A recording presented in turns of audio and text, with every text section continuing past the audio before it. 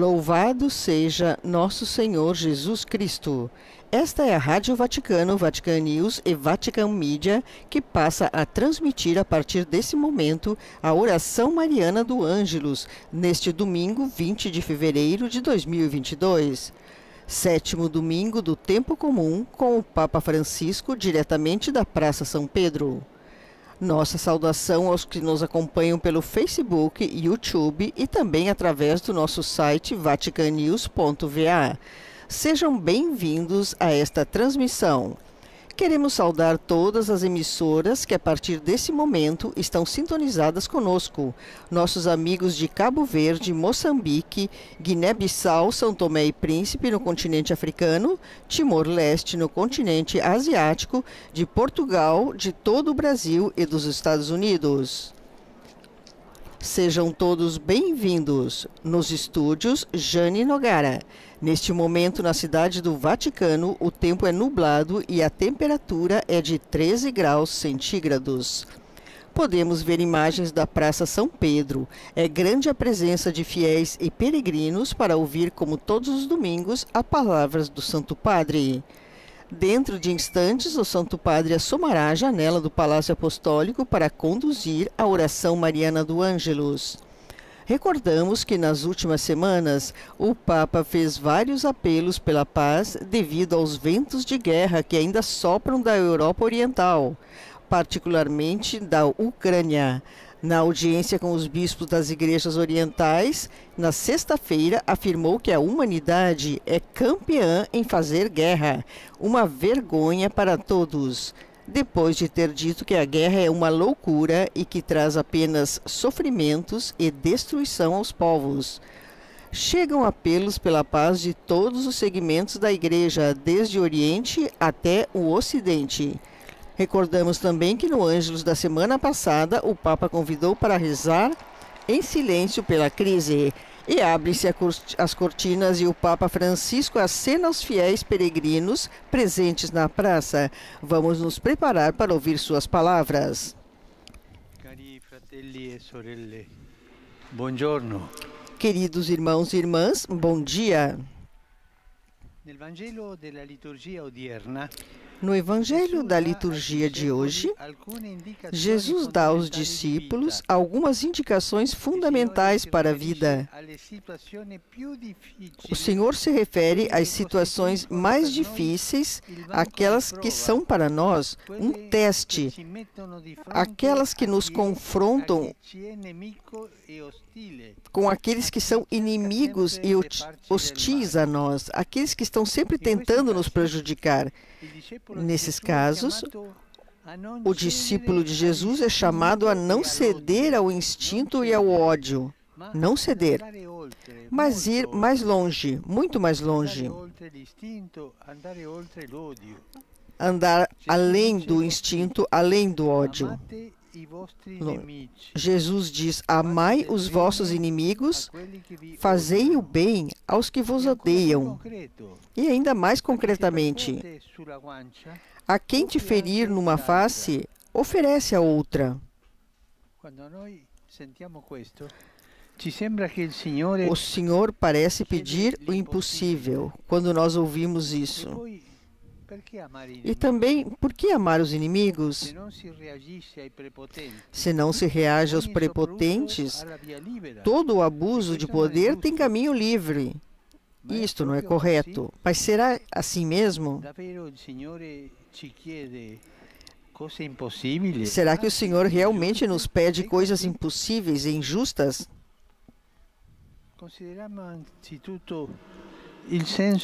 Consideremos primeiro esse sentimento de injustiça que sentimos ao dar a outra face. E pensemos em Jesus. Durante sua paixão, em seu injusto julgamento perante o sumo sacerdote, em um certo momento ele recebeu uma bofetada de um dos guardas. E o que ele fez? Ele não insulta, não. Ele disse ao guarda: Se falei mal, testemunha sobre o mal. Mas se falei bem, por que me bates? pede explicação pelo mal recebido. Dar a outra face não significa sofrer em silêncio, ceder à injustiça. Jesus, com sua pergunta, ingiusto, denuncia o que é injusto, pero o faz sem ira ou violência. Ao contrário, com gentileza. Não quer desencadear uma discussão, mas des- è importante. desestimular o ressentimento. Isso é importante. Extinguir juntos o ódio e a injustiça, tentando recuperar o irmão culpado. Não é fácil isso. Mas Jesus fez isso e nos diz para fazer a mesma coisa. Isto é dar a outra face. A mansidão de Jesus é uma resposta mais forte do que a bofetada que recebeu. Dar a outra face não é o recuo do perdedor, mas, as, mas a ação de quem tem maior força interior. Dar a outra face é vencer o mal com o bem, que abre uma brecha no coração do inimigo, desmascarando o absurdo de seu ódio. Questo comportamento, questo colocar-se outra face, dar outra face, não é ditado por um cálculo dall'amore. ou da ódio, mas pelo amor, Queridos irmãos e irmãs. É o amor gratuito, imediato e merecido que recebemos de Jesus, que gera em nossos corações uma forma de fazer as coisas semelhantes a dele, que rejeita toda vingança. Não somos acostumados a isso. Ah, você faz isso para mim, eu faço aquilo para ti. Este rancor que faz muito mal, de- destrói a pessoa. Vamos a uma outra objeção. É possível que uma pessoa venha a amar seus próprios inimigos? Se dependesse apenas de nós, seria impossível. Mas lembremos que quando o Senhor pede alguma coisa. Ele quer dá-la. O Senhor nos pede alguma coisa que Ele sabe que pode nos dar. Ele quer nos dar a capacidade de fazer isso. Sem essa capacidade, não poderemos fazer. Sant'Agostino pregava così. Santo Agostinho rezava assim. Sem, ouçam que bela oração. Senhor, dá-me o que me pedes e pedes o que quiseres. Dá-me o que me pedes e pedes o que quiseres. O que, o que devemos pedir a Deus? O que Deus tem o prazer de nos dar? A força de amar, que não é uma coisa, mas é o Espírito Santo.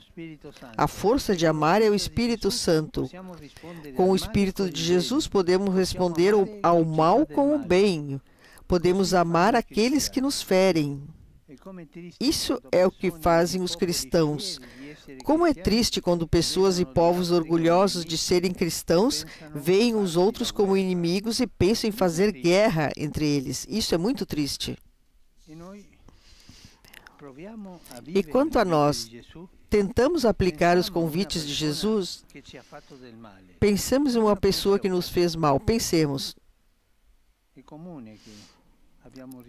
É normal que nós tenhamos sofrido o mal de alguém. Talvez haja um ressentimento dentro de nós. Então, coloquemos esse ressentimento ao lado da imagem de Jesus manso durante seu julgamento. E depois peçamos ao Espírito Santo que haja em nossos corações. Por fim, oremos por esta pessoa. Rezar por aqueles que nos tratam mal, os que nos fizeram algum mal, é o primeiro passo.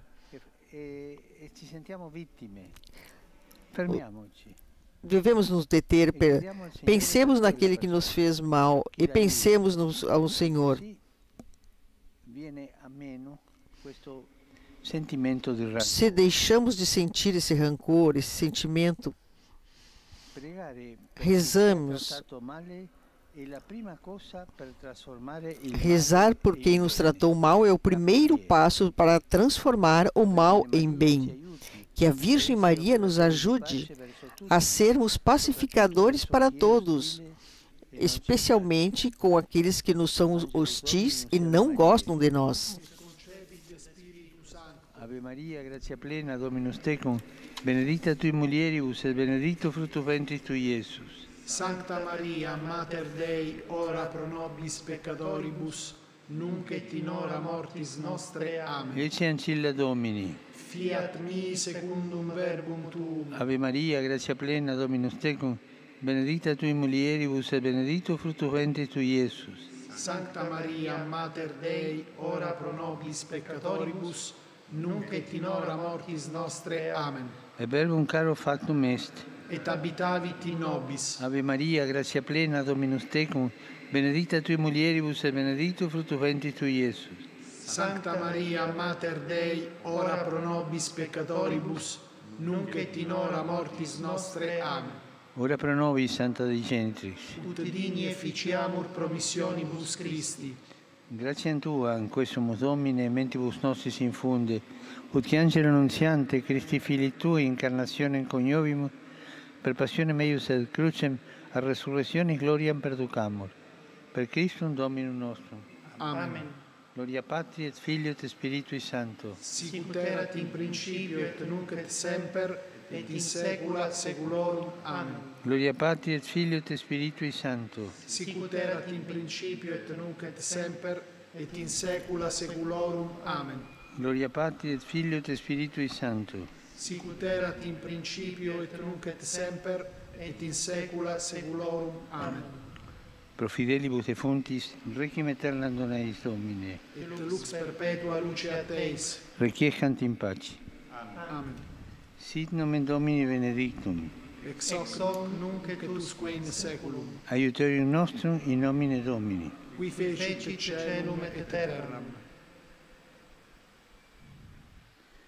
Benedicat vos omnipotens Deus, Pater et Filius et Spiritus Sanctus. Amen. Amen.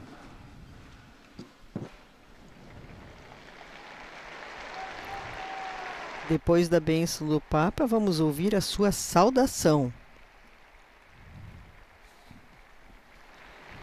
Cari fratelli e sorelle, Queridos irmãos e irmãs, esprimo la mia vicinanza alle popolazioni colpite nei giorni scorsi da manifesto a minha proximidade para a população que- que sofreram por catástrofes naturais, as pessoas do sudeste de Madagascar e também da cidade de Petrópolis, no Brasil, inundados.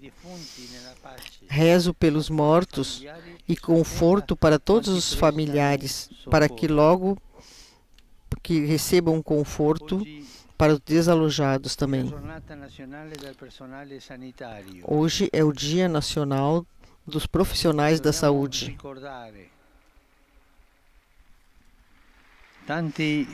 Devemos recordar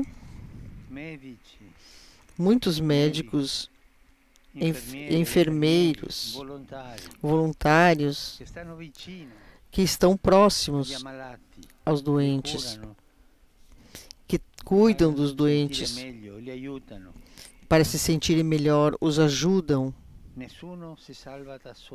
Ninguém se salva sozinho.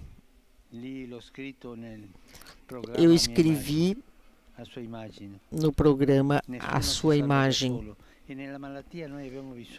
E na doença, precisamos de alguém que nos cuide, nos salve. Um médico me disse esta manhã, ele Covid, uma pessoa estava morrendo, o médico me contou e a pessoa disse: "Pegue a minha mão, eu preciso da sua mão". O heróico, os heróicos funcionários, os profissionais da saúde, deve permanecer essa heroicidade, esta glória, esse agradecimento a enfermeiros, médicos, um grande, grande Agradecimento a todos os profissionais. Não podemos esquecer deles. Saluto di cuore tutti voi. Saúdo de coração todos vocês, aos romanos e aos peregrinos vindos da Itália e de outros países. Em particular, os peregrinos de Madrid, Segóvia, que estão na praça. Quantos espanhóis, hein? Assim como saúdo os paroquianos de Santa, Santa Francesca Sabrina e estudantes. Saúdo e encorajo vários outros grupos presentes e também principalmente os grupos que ajudam as pessoas sem teto aqui em Roma. Fazem um trabalho muito bom. Desejo a todos um bom domingo e, por favor, não esqueçam de rezar por mim. Um bom almoço e até breve. Com essas palavras tradicionais, o Papa se despede dos fiéis e recordamos o que disse Francisco quando nos convida a amar os nossos inimigos. Dar outra face, disse o Papa hoje, não significa sofrer em silêncio, ceder à justiça. E recorda que a mansidão de Jesus é uma resposta mais forte do que a bofetada que recebeu. O Papa pediu também para amarmos nossos inimigos. É possível, mas lembremos que quando o Senhor pede alguma coisa, Ele quer dá-la. E o que o Senhor dá, o Senhor nos dá, nos dá a força do amor. Com estas belas palavras do Papa, nos despedimos de vocês, queridos amigos, convidando todos a visitar a nossa página vaticannews.va. Ali você pode ler todas as notícias sobre o Papa Francisco e a Igreja em todo o mundo. Obrigada pela companhia nesta oração mariana do Ângelus do Papa Francisco deste domingo, 20 de fevereiro de 2022, sétimo domingo do tempo comum. Louvado seja nosso Senhor Jesus Cristo.